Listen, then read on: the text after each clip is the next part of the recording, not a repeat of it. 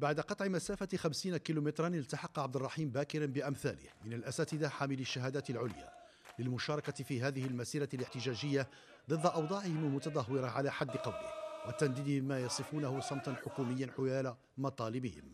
اليوم نقوم بمسيرة الحفاة للتعبير عن الوضع المتردي الذي آل إليه أستاذ في آه، المغرب آه، الذي آه، استهدف في محاولة لتحطيمه وللنيل من المكانة التي يحظى بها.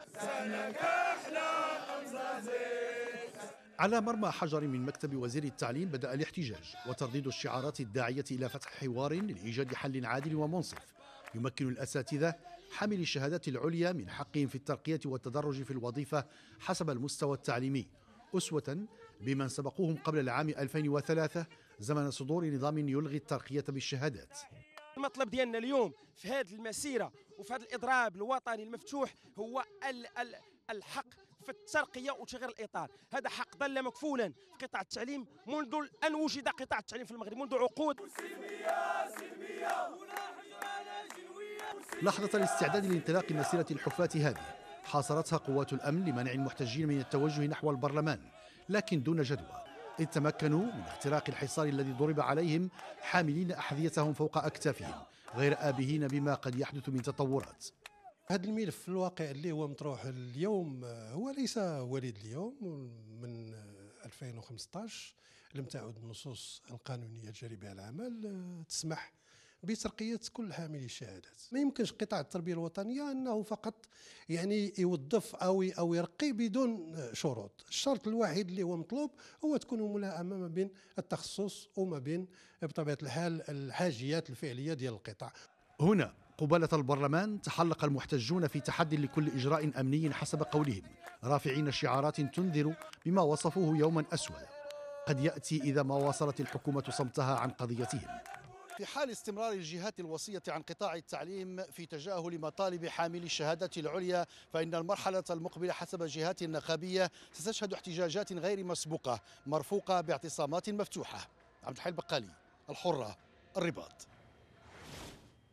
وينضم إلينا من الرباط طارق حنين المسؤول الإعلامي للجامعة الوطنية لموظفي التعليم. مرحبا بك معنا في نشرة التاسعة. بداية آه، احتجاجات الأساتذة أو مسيرة الحفاة كما أطلق عليها. هل ستشكل ضغط على حكومة العثماني؟ آه، لا سيما نحن في وسط العام الدراسي؟ آه، أولا تنشكر قناة الحرة على الاستضافة. ثانيا ندين كجامعة وطنية موظفي التعليم التدخل الأمني اللي تعرضت له المسيرة السلمية ديال الأساتذة حاملي الشهادات العليا. تحدثت اليوم تدخل الذي أدى إلى إصابة أربع أربعة أساتذة. وحدث تدخل سابق يوم أربعة أربعة أربعة دو بخصوص بخصوص الجواب ديالك هل المسيرة أو الاحتجاجات ديال الأساتذة حاملي الشهادات بأنها ستؤثر؟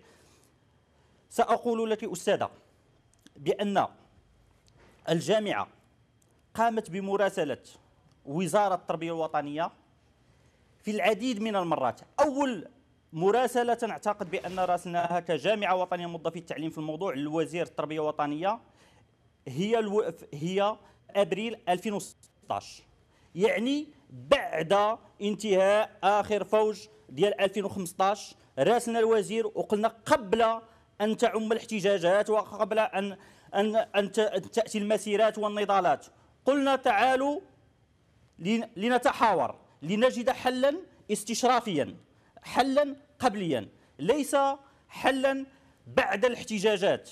لكن الوزارة استمرت في الصمت. الأساتذة قاموا بوقفات يوم الأحد أيام العطل لكن لا مجيب. وزير التربية الوطنية خصوصا الوزير الحالي.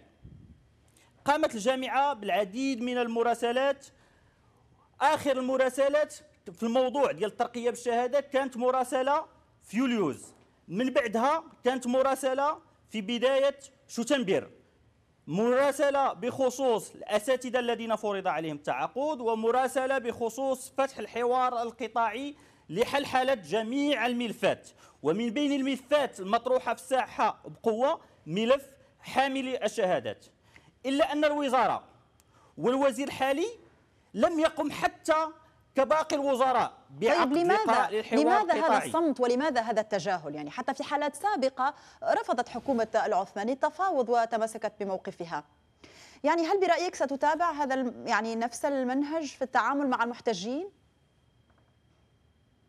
هذا سؤال يجب أن يوجه إلى إلى إلى الحكومة. آه، ليس إلى النقابة. نحن في نقابة. سنقوم بواجبنا النضالي. اذا إذا تعثر الحوار إذا لم تستجب الحكومة ووزارة التربية للملف الترقية بالشهادات سنقوم بالمزيد من النضال. وبالمزيد من كيف؟ النضال. يعني لو تفسر أن- لنا يعني في حالة عدم التج- تجاوب السلطات معكم كيف ستتصرفون؟ سنقوم بواجبنا النضالي. كيف يعني مثلا التصعيد ستواصلون الإضراب أم ماذا؟ سيتواصل الإضراب الأساتذة حاملي الشهادات عازمون على المواصلة إلى حين تحقيق مطلبهم حتى الإرادة السياسية لدى وزير التربية الوطنية ولدى وزارة التربية الوطنية غير متوفرة لحل حالة الملف حيث بأن بأن آخر آخر لقاء الذي جمع جمع جمع الوزارة بالنقابات التعليمية أقر الوزير تراجع عن ما ما أعطاه في اتفاق ديال 25 فبراير بحيث أن اتفاق 25 فبراير الذي رفضناه كنقابات ونعيدها رفضناه كنقابات لماذا خصوصا في الملف ديال حاملي الشهادات رفضناه بداعي الخصص رغم بأن إحنا. كنقابات تعليمية موقفنا من حامل الشهادات أو مطلبنا الأساسي في هذا الملف هو ترقية جميع حاملي الشهادات أسوة بزملاء السابقين بدون قيد أو شرط وبأثر رجع إداري ومالي. لكن رغم ذلك تراجعنا وقلنا بأن اتفاق بأن ما أتت به الحكومة ووزارة التربية الوطنية 25 فبراير بأنه قابل للتجويد وقابل ل- للمناقشة. ن- نضعه كأرضية نناقش ون ون ونأتي بخطوات إلى الامام لكن في اللقاء الأخير أرادت الوزارة أن تعيدنا إلى الوراء وهذا غير مقبول. نعم. بحيث شكراً. بان بان بأن بان الوزاره بأن المتحدث باسم نعم. اعاد ملف حامل وصلت الشهادات إلى فكرتك الوراء أشكرك دهمنا نعم. الوقت. أعذرني على المقاطعة. كنت معنا من الرباط طارق حنين المسؤول الإعلامي للجامعة الوطنية لموظفي التعليم.